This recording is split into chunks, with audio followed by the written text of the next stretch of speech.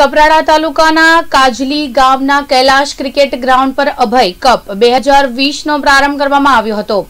એપીએમસીના chairman Mukesh Patel દ્વારા આયોજિત અભય cup cricket ટુર્નામેન્ટમાં તાલુકાની અનેક ટીમો ભાગ લઈ રહી છે. જેની ફાઇનલમાં વિજેતા તથા રનરઅપ ટીમને રોકડ પુરસ્કાર તથા ટ્રોફી એનાયત કરવામાં આવશે. આ ક્રિકેટ ટુર્નામેન્ટના ઉદ્ઘાટન પ્રસંગે રાજકીય, સામાજિક અને ક્રિકેટ પ્રેમીઓ મોટી સંખ્યામાં ઉપસ્થિત રહ્યા હતા.